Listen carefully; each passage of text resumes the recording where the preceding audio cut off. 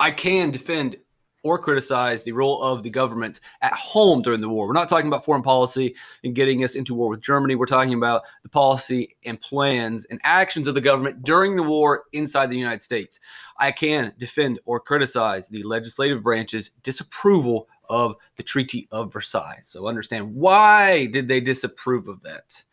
During the war, the government often suspends a lot of our rights in order to win the war and they take care of the economy. They take control of the economy, I should say. What do you mean by take control of the economy? Well, they will tell businesses. Now, they don't completely take over businesses. Eh, sometimes they kind of do. But often they will strongly encourage businesses to, hey, you need to stop making automobiles. We need to stop making goods for consumers. And we need you to turn your factory into a war machine. And we need you to build guns, bombs, missiles, tanks, clothing for the military, whatever you're doing, we're going to need you to change some of your production over to help out with the war efforts. And it's not complete totalitarian government here, and sometimes it is, where the government basically just does it. But a lot of times, during World War One, the businesses and the government work together hand in hand. Also, the government will create a, a, new department in the executive branch called the Committee of Public Information. It's pretty much just the Committee of Propaganda. What is propaganda? Where the government exaggerates facts, exaggerates truth, often lies, misleads people, mischaracterizes what's really going on in order to serve the common good, which is go win the war. So they will make Germany look like evil monsters, make them look subhuman. They will do whatever they want, whatever they need to do to convince the public, encourage the public, trick the public into doing what it wants. We still do pub propaganda today, but it's much more propaganda light. It's fact based. It's not really an exaggeration, but there is still this. Um, not the Committee of Public Information, but the government still works to convince people to do things to help out the government. The Committee of Public Information will also create war bonds. What are war bonds? You can loan your money to the government. Why would I want to loan my money to the government? Well, they're going to give you an IOU in return. And it comes with interest. So let's say you loan them $100, you earn interest on that, and that means in the end you will get $105. So not only are you helping out your country and government by loaning them money, but also you are earning interest in return and making money off them for all intents and purposes. You are a bank. You feel good about what you're doing and you're making that cash. Also, the, and, and they're going to use that money to buy military supplies and hopefully help them win the war. The Committee of Public Information takes control of the economy. They create war bonds during World War One, and they also will create victory gardens. So right before we talk about victory gardens, they'll also encourage you to starve yourself to death. The Committee of Public Information will tell you, hey, starve yourself, fatty. no, they don't do that. But they encourage you to eat less and ration. Why? Because if you eat less, that means there's more food for the soldiers. And if the soldiers are healthy and eating, then maybe they can win quicker and we get this war over with. So you're doing another thing, whether you are giving money to the government, here's another way that you can help out. Another way you can help out is planting a garden in your background. Why background? Backyard. Why would I do this? Well, if you get all of your food from the supermarket, then some of that food can't go to the soldiers. So what we could do is only buy some of your food from the supermarket. The rest can then go to the soldiers. Well, how do you make up for the difference? I used to get more food. Now I don't. You will have to grow the rest of your food on your own. So if you just eat the food that you grow, then the majority of the food grown in the United States can go to our soldiers, keep them healthy, and we can win the war. The Committee of Public Information does not make you do this. We are not an autocratic regime. It's not a totalitarian government. They strongly encourage you to do it. Wink, wink, nod, nod. You can see some examples, and here you notice, well, this is actually from World War II. Yeah, it's actually from World War II. We will do it again. The Espionage Act, on its face, doesn't seem like a bad idea. We should have a law that prevents people from spying on the country. And if you're spying, yeah, you're going to hurt the war effort. We can't have that happening, so we're going to throw you in jail. But that's not where it stops. It goes a little bit far further. It makes it illegal to cause or attempt to cause insubordination, disloyalty, mutiny, refusal of duty in the military or naval forces of the United States, or to willfully obstruct the recruiting uh, or the enlistment service of the United States. So this guy Schenck is passing out basically anti-war pamphlets. Really what they say are pamphlets or piece of paper encouraging people not to join the war, encouraging people not to, if they got drafted, don't go to the war. Don't fight this war. It's a bad war. We're serving the corporatists. We're serving the elites. We're helping out the rich. We're helping out the imperialists. We should have no business in this war. And as he passes out those flyers, he's arrested and thrown in jail. You're probably screaming to yourself, you can't do that. Yes, they can. The Espionage Act. Remember when we said it went too far? It says if you're willfully, if you willfully obstruct the recruiting or enlistment service of the United States. He's getting in the way of people joining the military. And the Espionage Act says that's illegal. And you're screaming, freedom of speech, freedom of speech. First Amendment of the Constitution says you can say whatever you want. You have the freedom to say. And if he wants to speak bad about the war, if he wants to tell people that you shouldn't join the war, he should be protected. Well, the Espionage Act says no, you can't. The Espionage Act is a law that says you cannot obstruct the recruiting or enlistment service of the United States. So it goes to the Supreme Court, and the Supreme Court has to look at the law and they have to look at the Constitution to decide, okay, what are we going to do? Does this violate the First Amendment of the Constitution? If so, then we have to throw out the Espionage Act and tear it out because nothing can violate the laws written in the First Amendment or any part of the Constitution. And most people clearly say, look, this is great and all, but this is violating freedom of speech. What the Supreme Court will say, as this ruling, Schenck for the United States, Schenck versus the United States, freedom of speech is not absolute. Your freedoms in the Bill of Rights and other rights that exist are not absolute. They have limits. There are limits to every single freedom. You can't go into a movie theater, and this is what Oliver Wendell Holmes, the Supreme Court Justice here, will say. You can't go into a movie theater that's crammed full of people and scream fire because then people are going to rush out. People are going to get injured. Your speech cannot hurt people. That's where we draw the line. You have freedom of speech, but it's not absolute. There are limits. Where do we draw that line? Where is the limit? He says the limit comes when you endanger people, like going into a movie theater and screaming fire. Someone can get hurt. Your free, your, your speech is no longer protected at that point. The words used create a clear and present danger that they will bring about the substantive evils that the Congress has a right to prevent. So he is saying the government has the right to pass the Espionage Act. The government has the right to pass laws that limit speech if that speech creates a clear and present danger. If that speech can harm someone, then the government can create laws that limit that speech. This law limits that speech because they argue that what he is doing creates a clear and present danger. You're saying, well, what clear and present danger did he create? By passing out the anti war pamphlets, encouraging people not to join the military, he is hurting the war effort. That's creating a clear and present danger. If we can't win the war, it puts our soldiers and our country in danger. And so they will argue that his actions did create a danger. They did create a substantive evil Thus, his speech is not protected and he goes to jail. We still have this today. This is a uh, uh, the stare decisis. This will often be cited when we look at what speech is tolerated and what speech is not tolerated. Your freedom of speech is not absolute. There are limits. Again, if you put people in danger, if you harm people with your speech, that's where the line is crossed. So sometimes we get an argument well, did you harm them or not? That's another case for another day. But this precedent has been settled. Your speech is not absolute. Also, the other big takeaway from Schenck United States, this is still on the books. The Espionage Act is still on the books. And so if your speech creates a clear and present danger or stu- substantive evil, the government can limit it. The government can also continue to pass laws that limit it going into the future. They can pass new laws that limit speech as long as the argument's made that, oh, that well, we were limiting that speech because it's creating a clear and present danger. Let's look at this man from South Dakota. He says, this man, this is during World War One. If I were conscription age and had no dependents and were drafted, now these are ifs because he's too old. He has not been conscripted. He has not been drafted. They are not making him. He's just saying, if this happened, I would refuse to serve.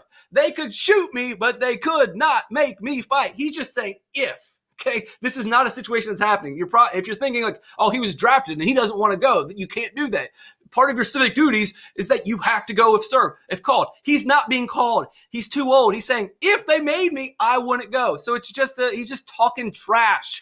And they threw him in jail. They threw him in jail for talking trash.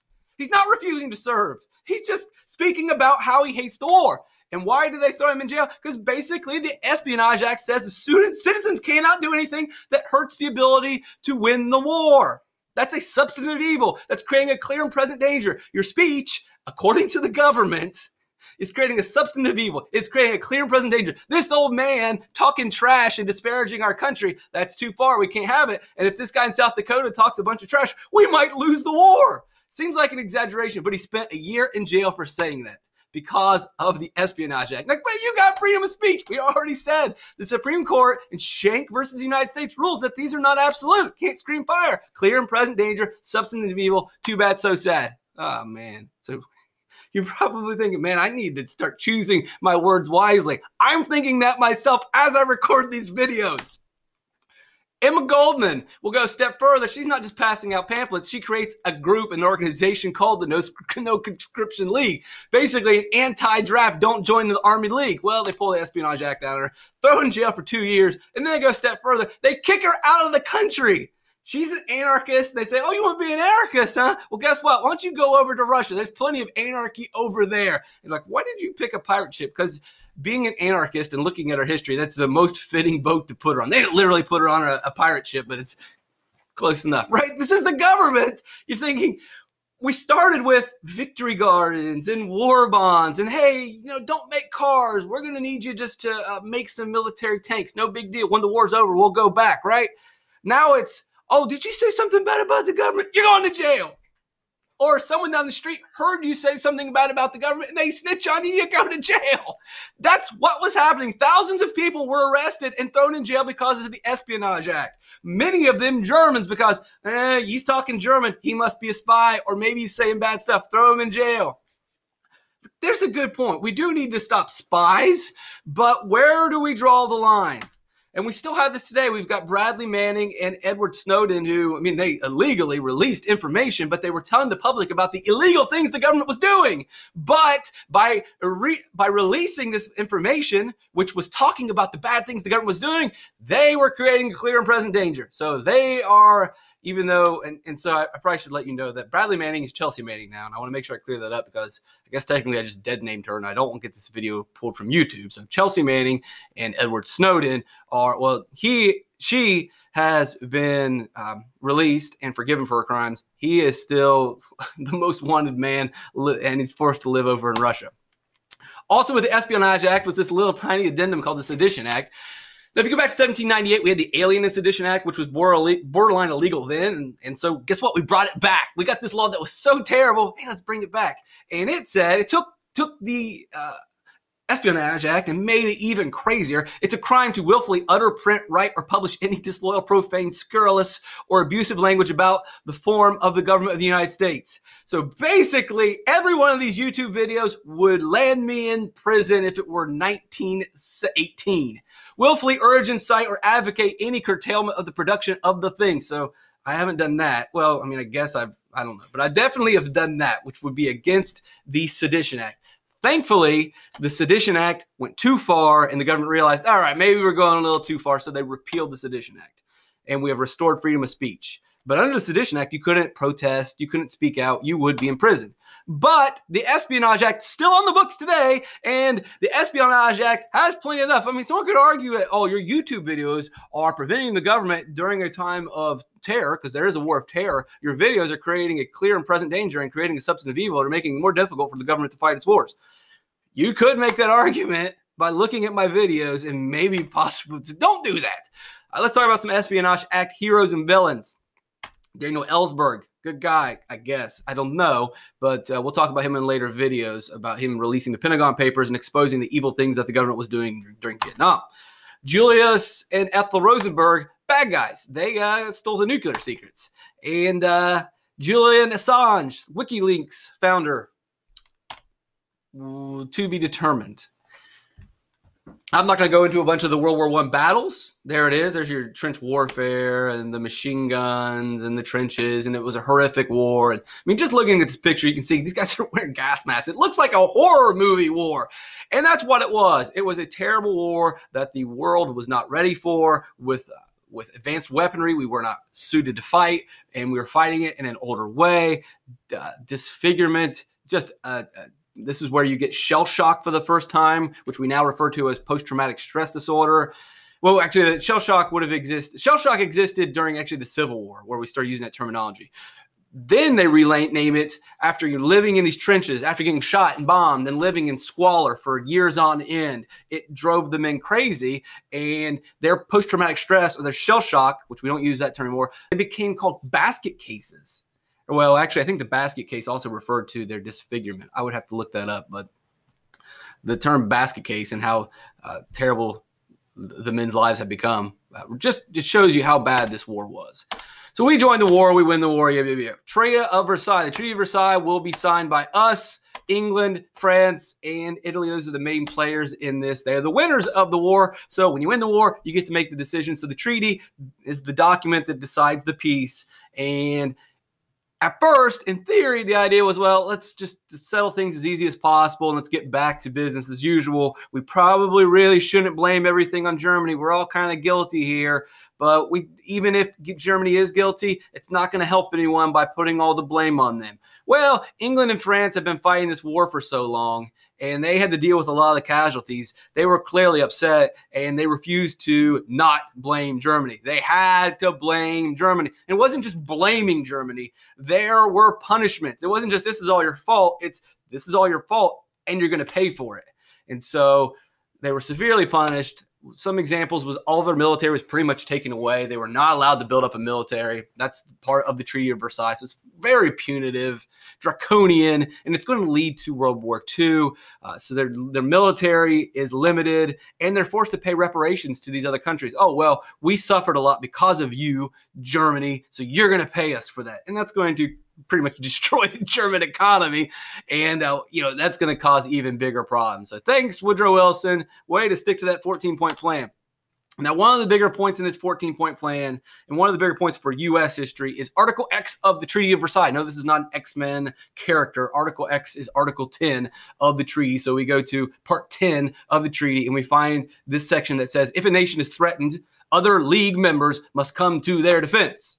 League of Nations. So, you know, if Batman gets attacked and Superman, Green Lantern, they're all going to jump in and, and, save him. That's the way it works. It's a team, it's a super group. Now, if you look at this map, you'll see that the blue colored countries are part of the League of Nations. The, the, the lighter blue here are kind of like a quasi member, and the gray are not members. The gray are not members of the League of Nations. Wait a second. Didn't Woodrow Wilson create the League of Nations? Isn't he the president of the United States? It sure looks like we didn't join. Yeah, because there's a problem.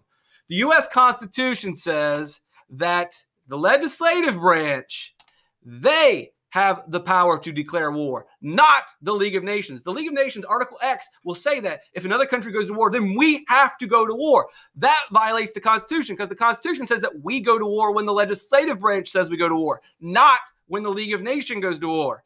Problem number two. So this violates the legislative branch. And guess what? The legislative branch, in form of the Senate, has the power to approve treaties. So they could easily say, hey, that violates the Constitution. We're just not going to approve it. Even if it does in the war, we're not going to approve it. So if, if, someone gets attacked, then under this Article 10, then we have to go. We have to go to all these wars. If someone attacks Australia, we don't even think about it. It's off to Australia. If someone attacks India, it's off to India.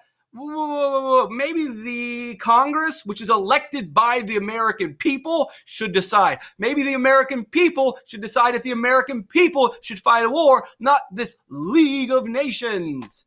And so Congress states, hey, that's our power. That's our written power, enumerated power in the Constitution. We're not going to forfeit it, and we can't forfeit it. We're not allowed to. We cannot violate the Constitution with this treaty. So we are not going to approve this treaty. And so we deny the Treaty of Versailles, and we do not join the League of Nations because it goes against our checks and balances enumerated in the declare or in the sorry constitution there is declare war that is one of our powers one of our checks on the executive branch that is a legislative check on the president woodrow wilson we don't want to be world police. We do not want to fight wars all around the country. We just got into a terrible war. We just suffered thousands of deaths. We don't want to do it again, and we don't want to do it in every single country for every single reason. So, guess what? We are not going to sign the Treaty of Versailles, and we're going to stay out of the League of Nations. You jokers can defend each other. We're not getting involved. And when the most powerful country in the world does not get involved, then the League of Nations is pretty much meaningless. It's dead on arrival.